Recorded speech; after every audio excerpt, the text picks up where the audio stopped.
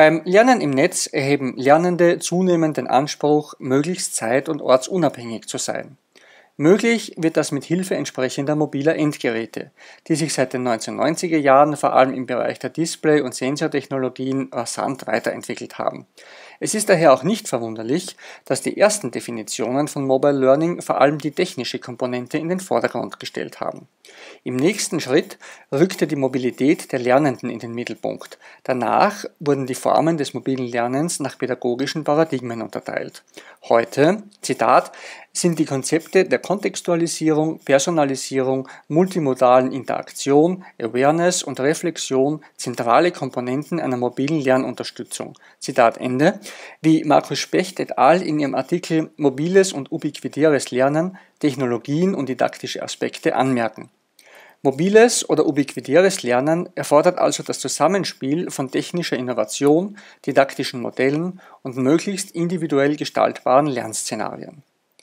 Bleiben wir zunächst bei den technischen Aspekten. Hochauflösende Displays ermöglichen die Rezeption von Texten und grafischen Darstellungen auch auf kleineren Geräten. Touchscreens erlauben ein Navigieren ohne Tastatur. Mit Hilfe von Sensorkomponenten wie Kamera, Mikrofon, GPS oder Kompass können Positionen genau erfasst, archiviert und weitergegeben werden. Bereits die Basisfunktionalitäten von Mobiltelefonen und Smartphones wie Text- und Instant Messaging, Sprache und Audio oder Foto- und Videofunktionalitäten können zur Lernunterstützung dienen, wie Specht et al. ausführen. So bietet etwa der Telefonie- und Audiobereich die Möglichkeit mobiler Audiokonferenzen und der Verbindung zu Datennetzwerken. Ebenso können audiobasierte Medien wie zum Beispiel Podcasts empfangen werden. Mit Hilfe von Textnachrichten ist spontane Kommunikation ebenso möglich wie der Aufbau von persönlichen und kontextualisierten Informationskanälen. Mittels Benachrichtigungsdiensten können sich Lernende immer aktuell über die Veränderung von Lernkontexten informieren.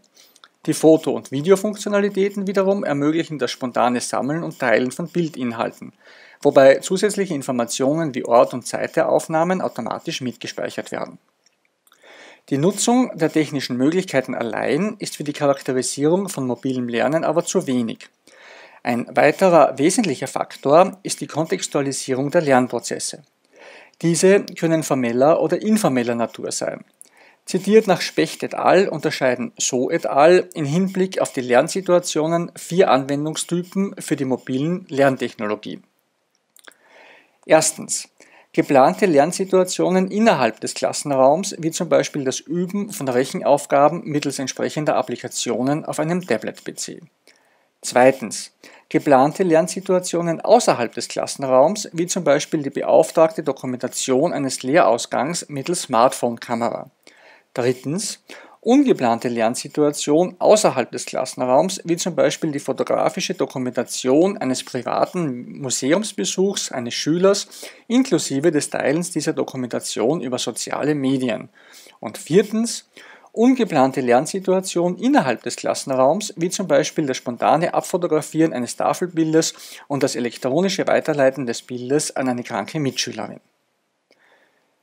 Lernangebote im Mobile Learning Bereich müssen auch adaptiv sein, wie Ulrike Lucke und Markus Specht in ihrem Artikel Mobilität, Adaptivität und Kontextbewusstsein im E-Learning hervorheben. Die Nutzung persönlicher mobiler Endgeräte macht die Anpassung an die persönlichen Vorlieben, Bedürfnisse, Vorkenntnisse und Lernziele der einzelnen Lehrenden möglich bzw. nötig. Im besten Fall resultieren daraus mediendidaktisch motivierte, personalisierte Lernangebote, die Präsenz- wie Online-Szenarien, fremd- und selbstgesteuertes Lernen sowie Einzel- und Gruppenprozesse umfassen und berücksichtigen. Dabei ist zu beachten, dass existierende didaktische E-Learning-Modelle nicht eins zu eins auf mobiles Lernen angewendet werden können. Einerseits aufgrund technischer Gegebenheiten wie Bildschirmgröße oder der Verfügbarkeit einer Internetverbindung. Andererseits aber auch, weil sich gerade eben durch die Mobilität Lehr- bzw. Lernszenarien ergeben, die mittels eines Desktop-PCs oder eines Laptops nicht oder zumindest nicht so gut umsetzen lassen. Besonders gut unterstützen mobile Endgeräte laut Schön et al., zitiert nach Specht et al., situatives Lernen, sozial-konstruktivistische Lernansätze, Game-Based Learning und kollaboratives Lernen. Berücksichtigt werden müssen auch potenzielle Störfaktoren, wie sie Daniela Schmitz et al. in ihrem Artikel Mobile Learning in der Hochschullehre auflisten. Dazu zählen ortsabhängige Faktoren wie Wettereinflüsse und die Verfügbarkeit des Lernangebotes ebenso wie technische Faktoren wie zum Beispiel die Akkulaufzeiten.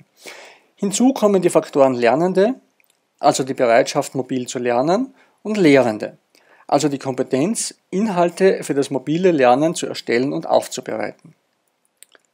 Mobiles Lernen lässt sich unterschiedlich kategorisieren.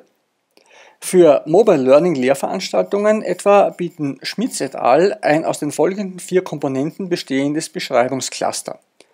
Nutzung mobiler Endgeräte, Ortsunabhängigkeit der Lernenden, Kontextualisierung der Lernprozesse und Informalität der Lernszenarien. Martin Ebner kategorisiert den praktischen Einsatz für mobiles Lernen im Artikel Mobiles und ubiquitäres Lernen, Technologien und didaktische Aspekte in folgende sechs Untergruppen. Mobile Information. Hier stehen die Anwendungen im Vordergrund, die Lernende mit Informationen in Echtzeit versorgen. Ein Beispiel dafür ist das Abrufen einer Lehrveranstaltung innerhalb eines Lernmanagementsystems. Podcasting. Lehrveranstaltungsaufzeichnungen und Vorträge können auch unterwegs und mobil konsumiert werden. Geolokalisierung. Gespeicherte Informationen in medialen Dateien, vor allem Bilder, werden um globale Koordinaten angereichert. Daraus ergeben sich für situationsbezogene Kontexte neue didaktische Anwendungen. Soziale Netzwerke. Facebook, Twitter und Co. werden häufig mobil genutzt, um sich miteinander auszutauschen und oder Inhalte zu teilen, woraus sich vor allem kollaborative Lernsettings ableiten lassen. E-Books. Auf mobilen Endgeräten lassen sich Bücher in der Regel gut lesen.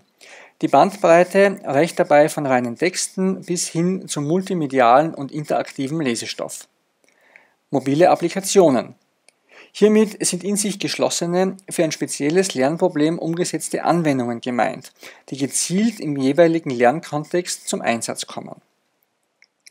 Christoph Goeth kategorisiert mobiles Lernen in seiner Präsentation Was ist mobiles Lernen? Möglichkeiten und Chancen nach Kontexten. Als Parameter dienen ihm dabei der pädagogische Anspruch sowie die Relevanz des Umgebungskontextes für den Lernkontext. Goeth unterscheidet vier Kontexte, wobei die beiden Parameter von erstens bis viertens eine immer entscheidendere Rolle spielen. Erstens. Den irrelevanten Kontext, der behavioristisches Lernen immer und überall zulässt. Zweitens, den formalisierten Kontext, der zum Beispiel partizipatorische Simulationen bei Massenlehrveranstaltungen ermöglicht.